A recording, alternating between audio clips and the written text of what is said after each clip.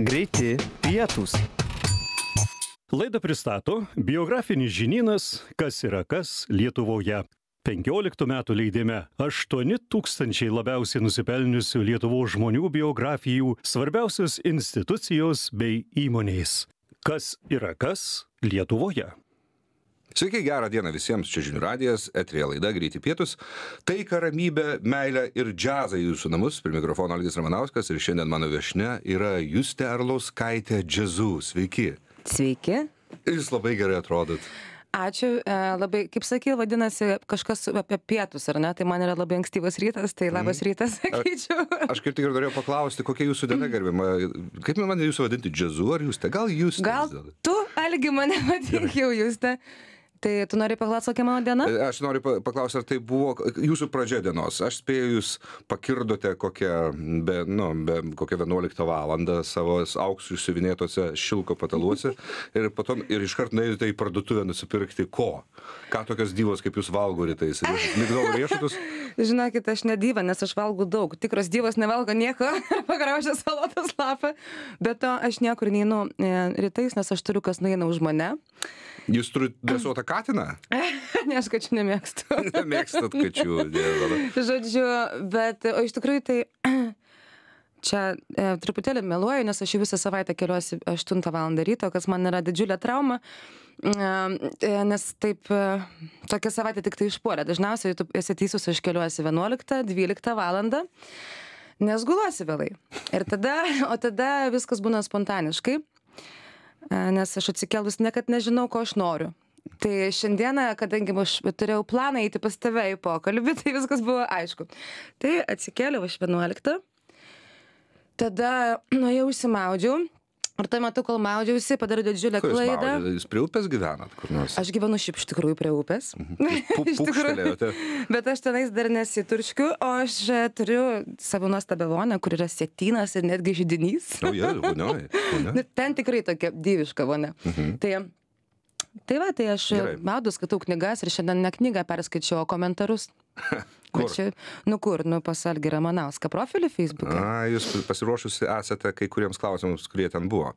Tai Jeigu čia, tai galima pavadinti klausimais, tai... Čia viena iš žaidimo taisyklių, aš to ir neslepiu. Gerai, pradėkime nuo to, kad jūsų nėra Wikipedijai. Kodėl jums dar niekas nepadarė jūsų įrašo? Mm? O tu ar tu dabar meluoji? Taigi ir aš esu Wikipedijai. Ne, yra Leon Somov ir Džiazu Wikipedija. Yra. Ai, tai turi būti atskiras Justerlauskaitė Džiazu, ne? Aha. Ir Wikipedija apie jūsų duetą su Leonu Somovu rašo rašo štai ką lietuvos elektronikos pop eksperimentinės muzikos grupė. Toliau yra skyrelis apie jus ir skamba taip. Justė arlauskaitė džiazu pradėjo dainuoti džiazą. Ką gi dar nuo trylikos metų.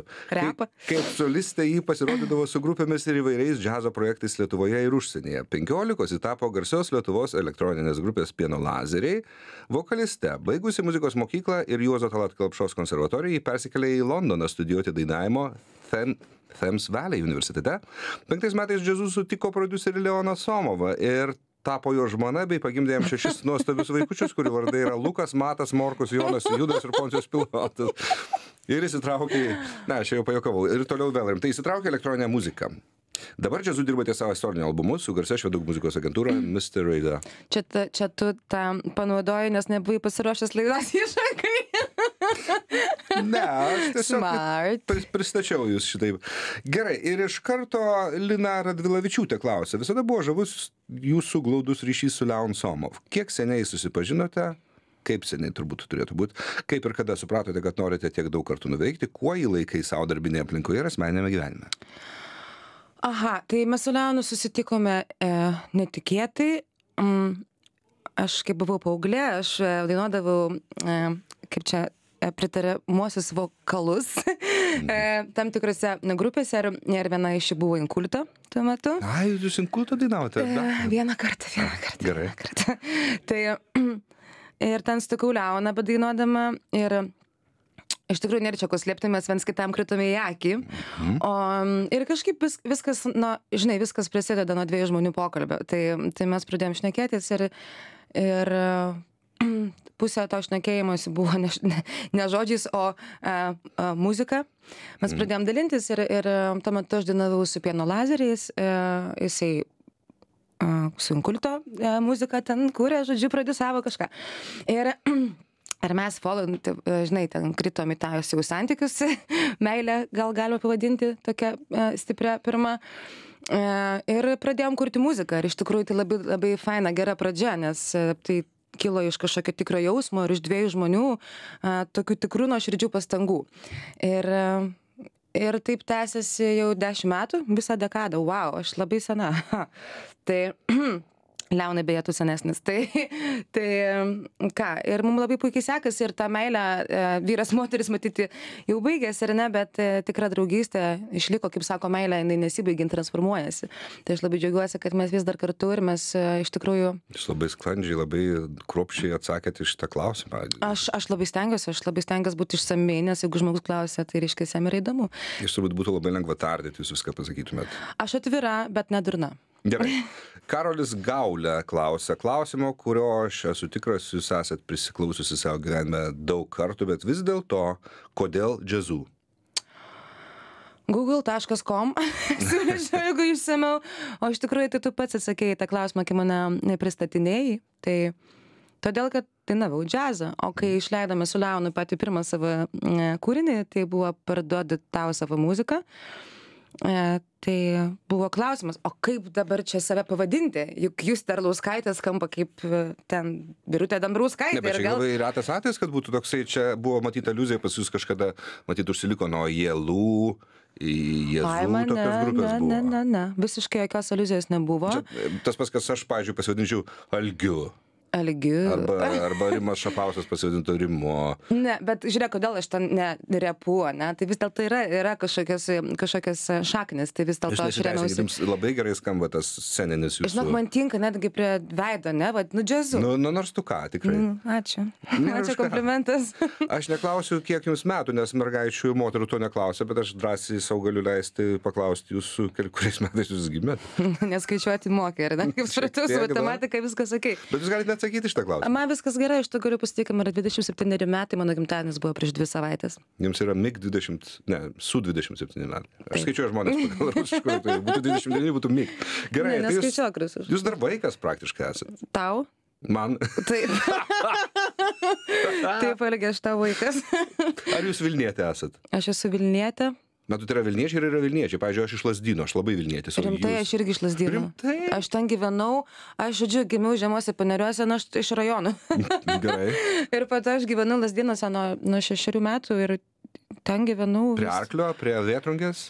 Prie arklio žinai kur kur buvo šešiolikaaukščiai žinau puikiai. Tai vat kur gyvena amžinatilsį šapranauskas tai ir aš per kiemą gyvenau. Jis gyveno irgi lazdynuose aš nežinau apie tai. Taip taip taip. O čionais gyveno jogaila markūnas. Pa kitas nu, markūnas kad lazdynietis tai žinau. Tai va tai mes tai mes ten kažkaip vat visi ir gyvenam. Gera gera kompanija sakyčiau lazdynai buvo buvo mhm tokių žmonių kaip jūs e, irštva ir ir inkubatorius. Kaip jūs kaip mes algi šiuo atveju. aš pasikuklinsiu gintaras karpu Kampus rašo jums mhm. štai ką, jūs labai graži. Ačiū labai. Jis pats yra. Čia klausimas ar ką? čia yra teiginys. Čia yra toks teiginys. Aš tiesiog pamaniau, kad jūs gal net nespėjote perskaityti, nes jis pas paskutinis parašė man prieš pačiam, prieš išvažiuojant jau čia į laidą. Jis... Aš nespėjau, aš spėjau perskaityti iš tikrųjų tik tai baisius dalykus, kur, kur rašė vyrai. Labai tendencingai iš tikrųjų rašo. Uh, tuos negražius žeminančius žeminančius dalykus apie moterį e, vyrai. Ir čia labai liūdna yra bet vat vienas vyras tokia didžiulė atsvara ar vienas komentaras geras ir toks komplimentas aš jas labai mėgstu ačiū tikrai. Mes po pertraukėlės išgirsim dar gražesnių klausimų jums.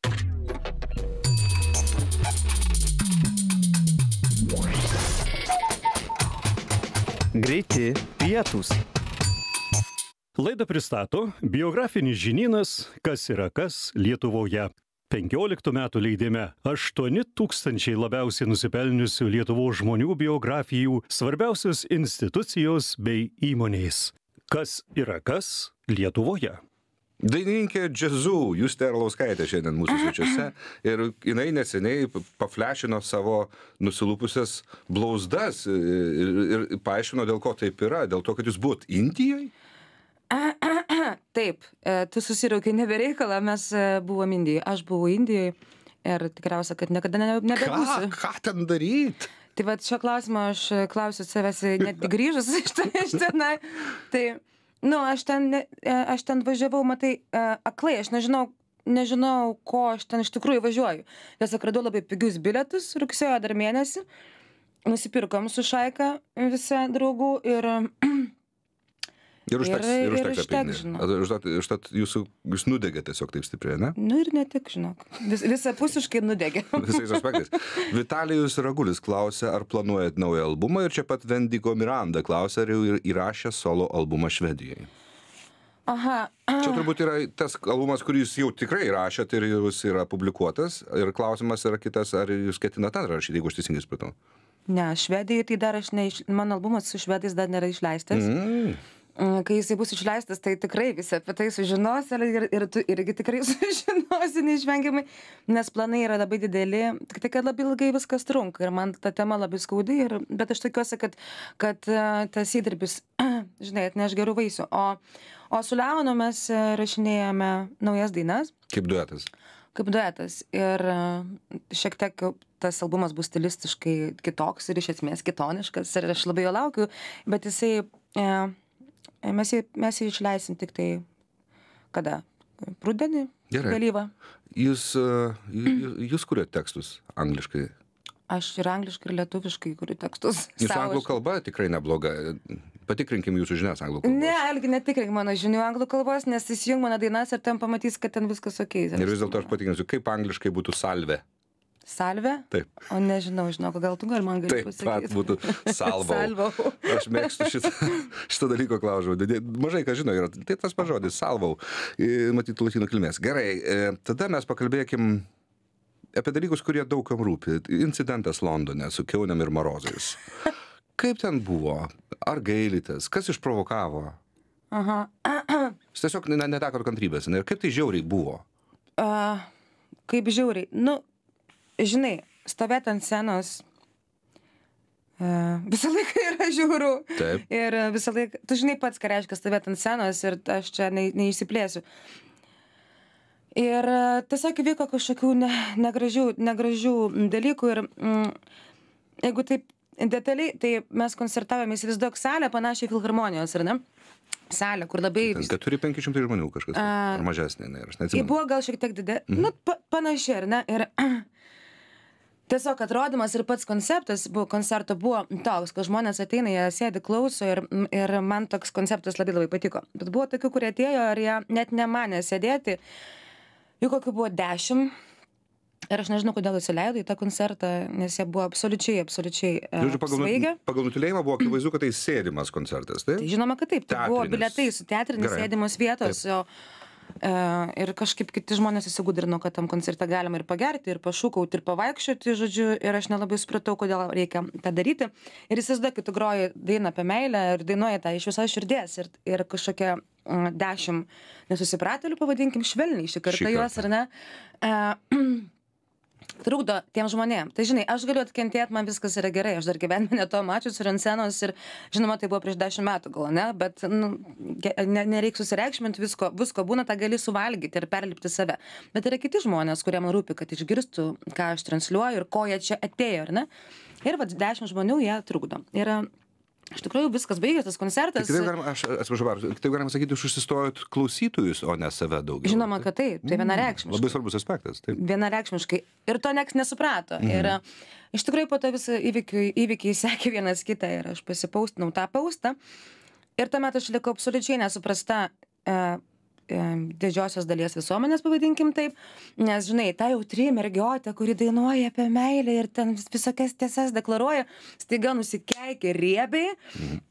Ir visi galvoja, kad aš gal taip na, nemoku šnekėt, aš taip šnekėt moku, aš tiesiog taip nešneku, nes man atrodo, kad nešti į, mm, į aplinką gerus dalykus, pozityvius yra kur kas e, svarbiau, nes negatyvų ir taip gyvenime yra labai labai daug. Bet šį kartą aš nesusilaikiau. Ir tas žingsnis nebuvo neapgalvotas, kaip daug kas galvoja, kad ačiū ant emocijų, ten, žinai, taip, taip irgi nebuvo. E, ir aš kreipiausi į tą dešimt žmonių, o mane išgirdo kažkodėl tai e, visi ir labai daug žmonių priėmė savo. Man dėl to labai labai gaila. Nes tai buvo iš tikrųjų kalba, tiem, tų žmonių Supratau. kalba, žinai, Viskas viskas. Ne, aš netgi šriftą padidinau, kad aš taip nešneku Facebook'e. Nu, o po to žinai nu aš labai džiaugiuos turėjo žmonės apie ką pasišnekėt ir iki šiol turi. Ir jeigu tie kurie dabar toliau rašo apie čipsus ir taip toliau nu nu jau gana nu nebeįdomu niekam. Nu ta prasme netgi man nebeįdomu. Tai nu nu gana. Šitoj vietoj- čipsai skanus dalykas bet nereikia jam tiek daug dėmesio ar ne skirti? Taip, šitoje vietoje aš tiesiog eilinį kartą pastebiu tokiems Facebooko mm, naujokams šiuo atveju kaip jūs, kad mes visi praėjom tą mokyklą, rašytinė kalba yra labai, labai atskiras dalykas ir labai reikia būti atsargiam. A, taip, aš, aš tą, pasi, aš tą pamoką, man atrodo, jau išmokau. Ir puikiai. Kita vertus, tai žinai, kodėl aš, kodėl aš turiu būti atpirkimo ožys. Nes labai daug žmonių ir viešų žmonių tą daro kiekvieną dieną. Tikriausiai tai buvo nuostaba, kad e, A, kontrastas. yra Kontrastavau pati savo. Kitas dalykas, čia yra, e, negaliu to nepaminėti, labai dažnai vieši žmonės, tokie kaip jūs, arba to, tokie huliganai kaip aš, mes liekam kalti dėl to, kad mes atsikertam. Nors paprastai visuomenė nemato, kad mes buvom išprovokuoti dar žiauriau. Taip. Taip sakant, mes darom gražos, bet mes likom kalti, nes mes vieši žmonės. Ir kaip tu sakai, žinai, ar aš gailiuosi, a, iš tikrųjų aš nesigailiu, nes tai buvo tam tikras išpuliavimas e, diskusijos forma visuomeniai. Tai palėtė, nežinau, ir kultūrą, ir kalbos kultūrą, ir muzikos kultūrą, ir požiūrį menininką, ir požiūrį publiką, ir, ir taip toliau. Aš gailiuosi dėl vieno dalyko ir man pirmą kartą gyvenime nuoširdžiai buvo gaila savęs.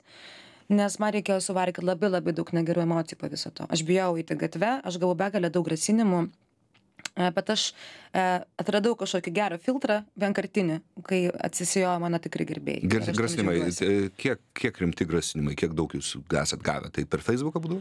Per Facebooką, nes žmonės, žinai, jie, jie nieko nebebijo ir daug labai buvo netikrų anketų. Mhm. Ir labai daug iš vyrų epitetų gražių susilaukiau. Žinai, nu vieną, vieną dieną aš įsivaizduoju, man trūks kantrybė, aš tiesiog turiu viską nusi, nusiprinsklininus, ne? Mhm. Ir e, jeigu man ta kantrybė trūks, nes yra e, tokių tendencijų, pasikartojančių atvejų, kur tas pats žmogus, va aš jam kažko neįtinku. Na, tai lai, žinai. Visą, nu, bent jau kažką iš žmonių ištraukiu, bent jau pikti. Prisiminkime MAMA apdovanojimus, kasmetinius Lietuvos popmuzikos ir alternatyvios muzikos apdovanojimus, kur jūs e, parodėt nepadorų gestą beveik visai Kauno Žalgerio arenai dėl to, kad jūs užsistojote Vladimirą Simonko, kuris yra Lietuvos gėjų e, centrinė figūra. Anais, Lietuvos gėjų lygos, man atrodo, vadovas. Mano klausimas, ar ne jūs gailitės ar ne, nes jūs tikrai nesigailit, bet ar jis jums padėkojo kaip nors po to? Padėkoju ir aš prieš dvi savaitės buvau lygių, mm, lygių teisų apdovanojimuose, kur buvo nominuota skaičiau apie tai. žinau.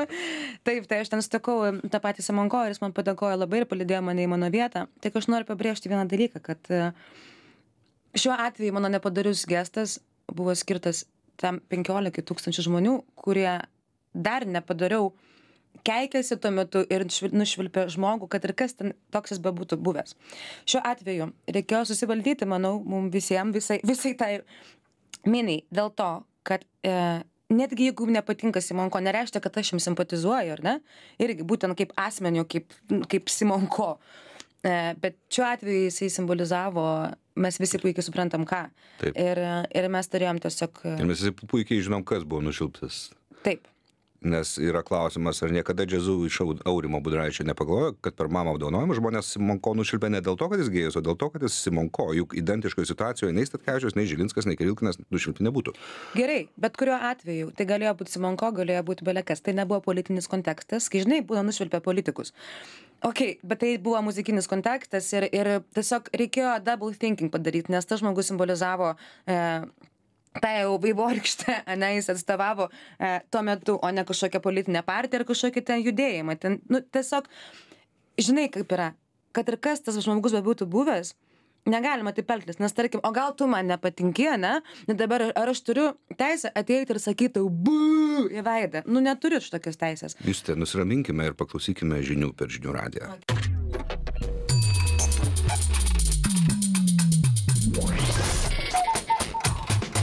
Greiti pietūs. Laidą pristato biografinis žinynas Kas yra kas Lietuvoje. 15 metų leidime 8 tūkstančiai labiausiai nusipelniusių Lietuvos žmonių biografijų, svarbiausios institucijos bei įmonės. Kas yra kas Lietuvoje. Tęsime laidą svečiuose Justė Arloskaitė Džezų. Na ir negaliu paklausti, nepaklausti jūsų gerbimo Justė, kas jūs sieja su komiku Justinu Jankievičiumi. O, kas sieja, nežinau, santykiai sieja. Visi, visi žino, kas mus Jūs sieja. esat pora, taip? Na, mes esam pora. Kaip Jis neblogas vyrukas, jis, jis gražus. E, jis, jis, a, e, jeigu jau vyrui gražus vyras, tai reiškia, jis tikrai gražus. Taip, jisai man gražus, jisai. Ir jis tokie net panašus viens į kitą, tokie brunetai, abu žydromo kūtėm jūsų vaikai bus, da, tokie kaip Hitleriai. E, nu, tie vaikai bus, nebus, kada jie bus, čia gal nereikia taip žiūrėti ateitį toli. E, Bet, e, bet mums labai dažnas žmogus sako, kad mes iš tikrųjų net vizualiai panašus. Ir man atrodo, kad tai yra geras ženklas. Žinai, kai žmonės sako, kad priešingybės traukia, Mhm. tai aš vis tik galvoju, kad jeigu renkėsiu žmogų, e, žmogų gyvenimui, tai turi vis dėlto. Turi panašios. būt, turi būti kaip Liolikas ar Bonas. Panašios sielos, taip. O e, su, su Leonu, grįžtant prie Leono Somovo, nebūna taip, kad susiriejat per e, repeticijas, ne, ne dėl širdies reikalų, dėl to, kad dėl rutinos. Nes mes, pavyzdžiui, su Rimu Šapausku, mes kartais viens kitam Oi. pasakom jo. O, tai jūs dar abu esate, žinai, vyrai, o aš esu moteris, kuri labai labai greitai išsiplėskia ir, ir visko būna pas mus. Tai prasme, mes esame iki tiek su Leonu susipytę, kad, kad aš laikiau jo kompiuterį ir sakiau, dar nors vienas žodis, tavo visi failai ir visos dainos bus iš šipulių sudaužyta. Niekada nedarykit to vyrui. Tai klausyk, bet Leonas irgi turi charakterį. Galiausiai aš ten atsileidžiu, žinai, nu, pas mane ta toksai užsiplėskiu ir staiga po to atsileidžiu ir pasijokiu iš to.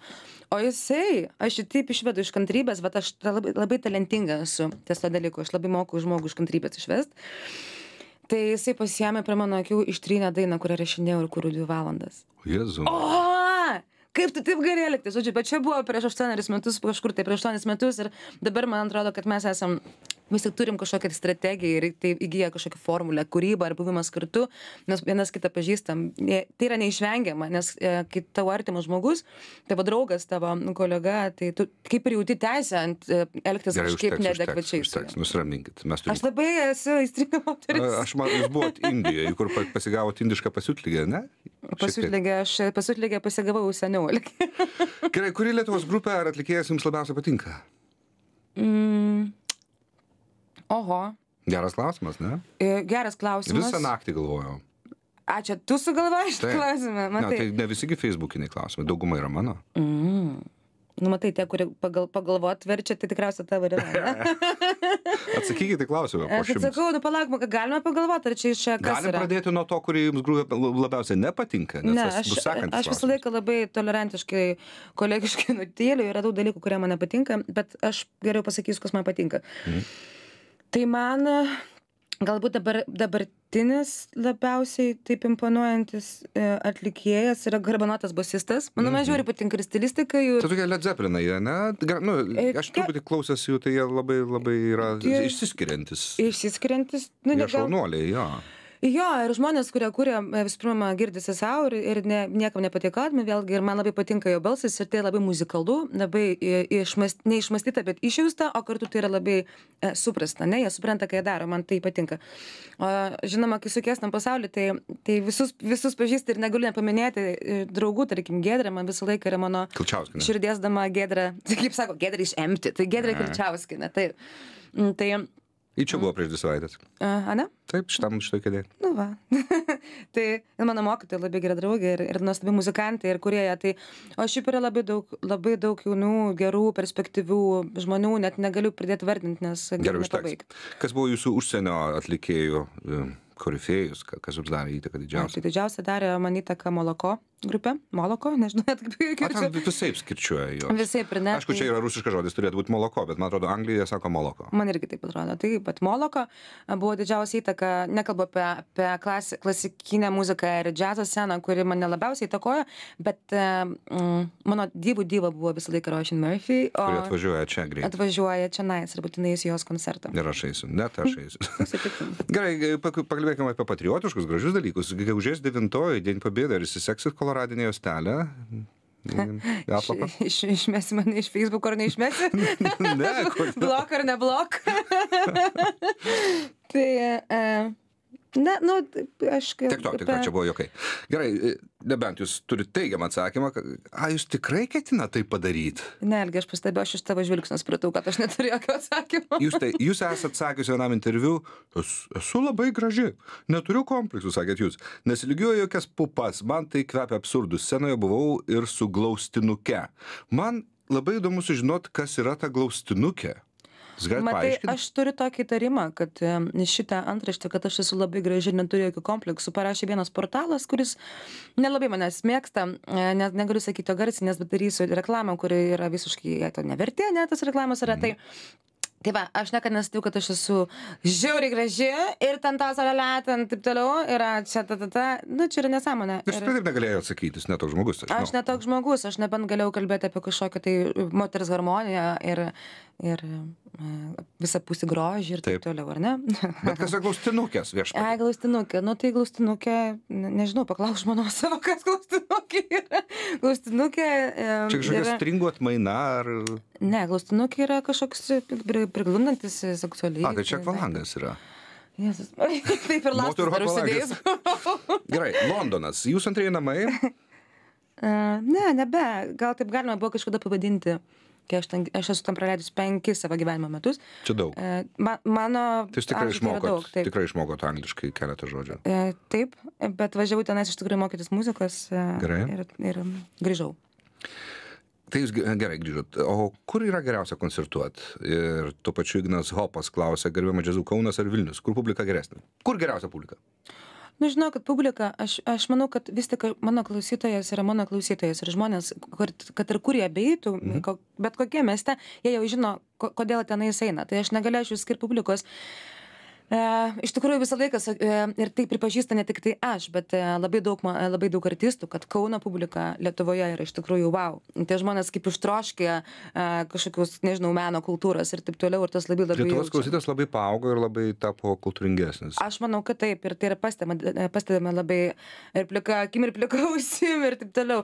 Ir e, tai, žodžiu, e, Kaunas visą laiką užėmė pirmą vietą, o dabar su nauja programa pažiūrėsim, kas, kas bus. O iš tikrųjų aš labai myliu kiekvieną savo klausytoją ir aš tą sakau visiškai nuoširdžiai. Ir Kaunas jums buvo pirma vieta, tikrai? Kaunas daug metų buvo pirma vieta, mm. vienareikšmiškai. Gerai, gerai. Kas jums yra internetas ir Facebookas? Mes jau A, minėjom šitą priklausomybė. Priklausomybė. Bet jūs nesat labai daug re- besireiškinti tenai. Tai jums nėra. Žinok, aš kai pasireiškiau porą kartų, tai buvo taip su kaupu, kad tokių spridų, kad nebereikia tą daryti.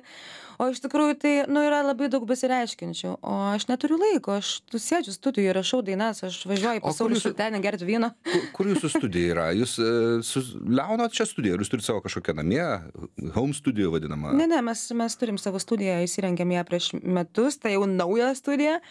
Yra Basanavičiaus gatvėje, labai faina vieta. Bet jinai tikrai nėra geresnė negu mano studija, kurioje jūs buvote neseniai. Ne, ne, aš ne, jokauju. aš žinau, kad tu juokauji, bet jin tokia pati gera. Na gerai, gerai. taip. super. Kur jūs gyvenat? Nereikia adreso, reikia tik tai lasdynuose, jūs gimėt ten kažkur paneriuose, po to lasdynai. Taip, iš rajono aš vis artėjau, tai žingsneliais Taip. prie, prie centro.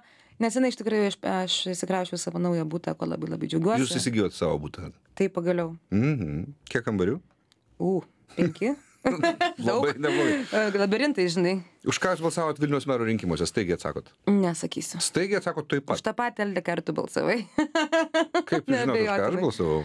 Aš turiu tokį įtarimą, kad balsavai už šimtašim. E, tradicinis klausimas mano laidoje. Aš visų klausiu, galite atsakyti kaip norit. Žaliojo Mhm. tilto skulptūros, taip ar ne jums? Ne, Gerai. Kiek jūs uždirbat? daug.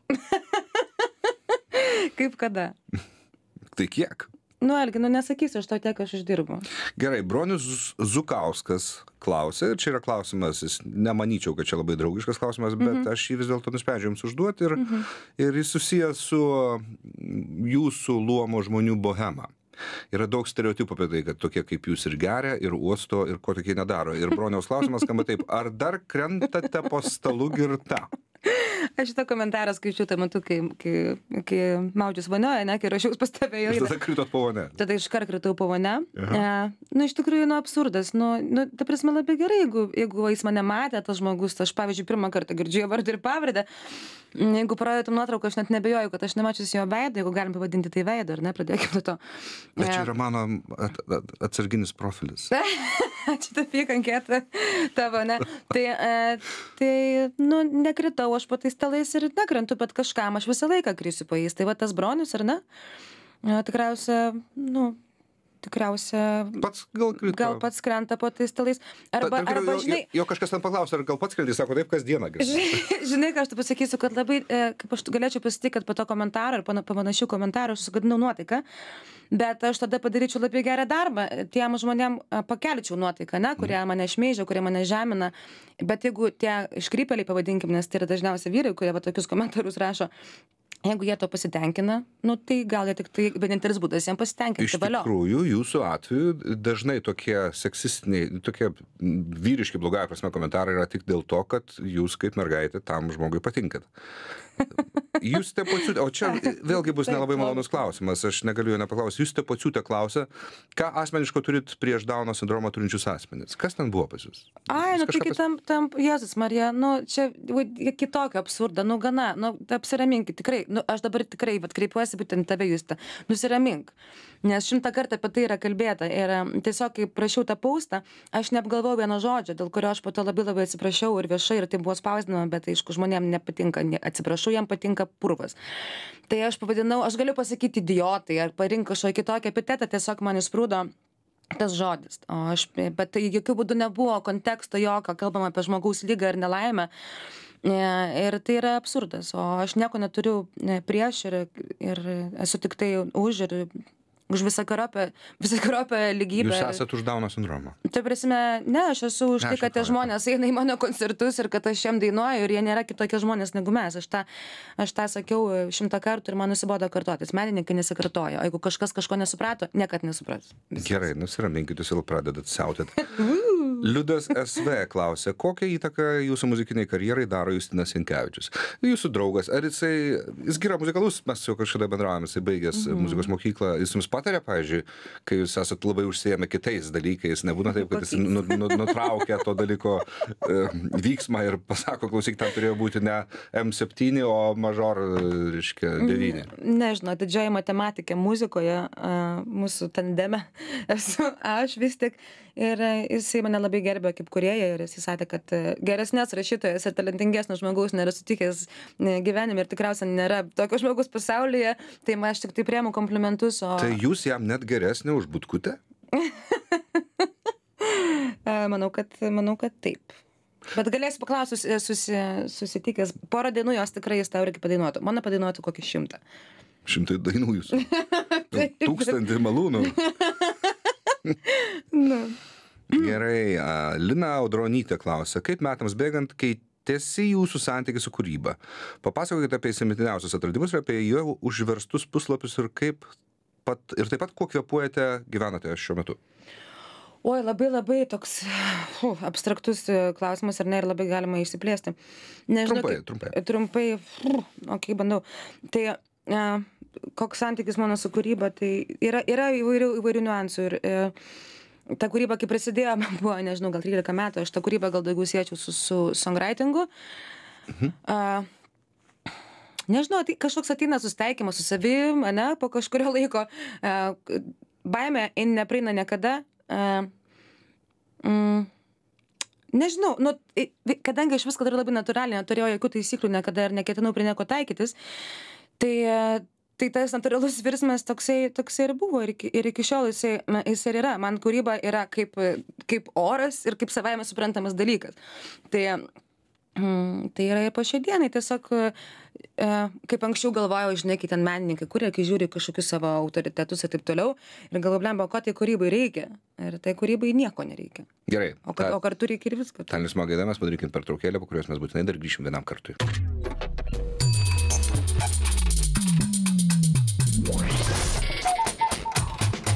Greiti pietūs. Laidą pristato biografinis žinynas Kas yra kas Lietuvoje. 15 metų leidime 8 tūkstančiai labiausiai nusipelniusių Lietuvos žmonių biografijų, svarbiausios institucijos bei įmonės. Kas yra kas Lietuvoje. Prieš, tai mes tęsim laidą, jūs Tervaskaitė Džiazu yra mūsų studijai. Ir paskutinis mūsų, paskutinis mūsų ratas. Mhm. Labai nenorėjau sakyti setas, nes mane užmuštų kalbininkai. Gerai, e, klausimas Vezuvijus Biliboj klausė jūsų, ką galvoja apie Gidijų dragūną? Jis sakė, surinks tavo fanus, kurie valgo čipsus per koncertą. Kokie jūsų apskritai santykiai su Gidijų dragūnu yra? Nežinau, sa- santykiai e, šiuo metu gal pasakyčiau, kad jokie, o, nu, aš labai džiaugiuosi, kad... kad e, O kodėl apskritai yra toks klausimas? Nes jūs kažkaip bendraudavot su juo, ne? Mes bendraudavom, bet, e, bet dabar nebebendraujam, man, man nelabai skauda dėl to. Nežinau kaip jam, bet... O dėl to, ką, ką, ką čia žmogus rašo, tai yra, kad jisai per vieną savo koncertą pasakė, kad kad visiems džiazų gerbėjams mano koncertų ten pusė kainos ir čipsam 5 procentų nuolaida. Ne, nu, čia jokai buvo. Čia, nu, žinai, bet tokie jokai tam, kontek tam, tam a, kontekste, kai aš viską labai skaudžiai išgyvenau, man nebuvo labai draugiškas palaikymas ir man to, kad tai buvo mažytis kerštas e, dėl kažko, tai ko aš niekada nesuprasiu, bet, nu, tebu ne, aš jam linkiu labai e, daug laimės ir, ir, ir ta prasme, kūrybinio potencialo ir aš e, tam tikrą prasme e, jį gerbiu. O čia prie to paties Dalius Ironis klausė, ar sutiktumėte dalyvauti, kurti projektą dainą kartu su Selu? E, matai, nesutikčiau dėl to, kad, kaip visi žinome, Sel baigė savo karjerą. Aha. Lietuvoje likti.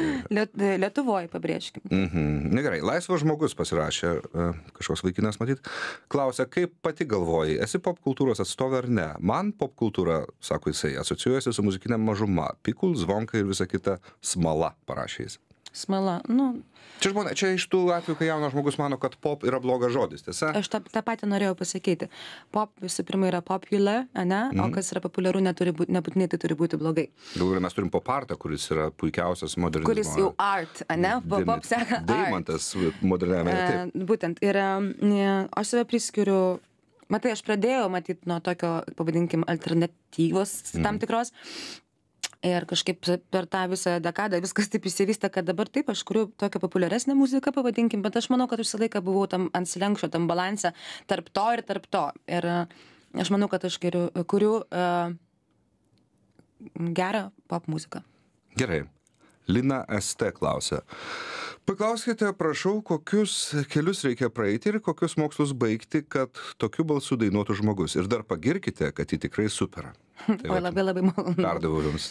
Ir ačiū. Ir em, kokius kelius reikia praeiti, tai, mm, žinai, ba- balsas kažkoksai talentas, aš vis tik manau, kad yra duotybė.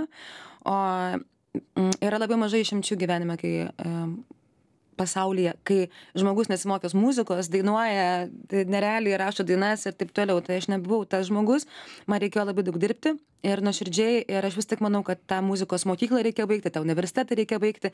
Ir žinai, kaip aš vadinu muziką, tai yra sielos matematika. Net ir be sielos nieko tenais irgi nebūtų. Tai manau, kad tai yra patirtis ir, ir nemenka, ir didžiulė, ir, ir, ir skaudi. E, Ir žinau, kad aš turiu gebėjimą ne tik dainuoti, bet ir jausti. Tai va. Gerai. Gerai. E, Domantas Don klausia, kodėl dainuoji tik liūdnai? Ar tai tiesa? Aš nemanau, kad tai yra tiesa, bet e, žinai kaip yra. Aš manau, kad per minorą ir tu gali pasakyti daug daug dalykų svarbių ir taip toliau, ne, negu per mažorą. Tai gal, gal, taip ir, gal taip žmonėm ir atrodo, bet iš tikrųjų tai nėra mano dainos visos labai liūdnos. Koks yra jūsų mėgstamiausias akordas? Aš visą laiką klausiu tų muzikantų. Ir muzikantai dažniausiai sutrinka ir, ir pasimeta ir neatsako. Bet kokia, aš nežinau, man tai bet kokia gal septynkė. Mažoras ar minoras? Minoras, aišku. Nu, man tai minor taip. visą laiką, visą laiką gražiau negu. Tai gerai tada. Jeigu minoras 7, tai gerai. Tada. Ir Justinas Riudas klausia, ar iš ties atlikėjai tokie kaip jūs jaučiasi aukščiau paprasto žmogaus? Jūs esate žinoma daugiau nei, Lietuvoj, nei Lietuvos mastu. Jūs dabar juokaujate čia su Olgiu Ramanausku. Matote, jisai Jau žinojo, kad tai žinojo, jo- kad juokausim. Esate tame pačiame visuomenės gerai žinomų žmonių luomas, jūs su juo elgėtės mandagiai, bet ar taip pat mandagiai elgtumėte su paprastu gatvėje sutiktų žmogum, būtumėt linksmai juokautumėt? Galima žodžius atsakysiu. A, Prašau. Aš nebejoju, kad jūs Terlaskaitė tai būtų linksma ir juokautų ir gerai elgtųsi su bet kuriuo gatvėje sutiktų žmogum, su sąlyga, jeigu tas žmogus nebūtų keune ar marozas. Būtinai, nereikėjo tą prisiminti. Tai esi teisus, taip, man visi žmonės yra lygus ir aš niekada nesargau žvaigždžių lyga ir man nėra luomo ar neluomo, čia ne Indijoje, ne Indijoje nėra kastų. Aš myliu visus žmonės e, e, vienodai. Va tą gražią, pavasarišką, džiazuišką gaidą mes baigiam pašnekis su jūs Terlauskaitė, aš jums labai dėkingas, kad atėjau čia. Aš labai laiminga, kad čia mane pasikvietė. Ate visiems iki. Čia žinių radijas. Likite su mumis.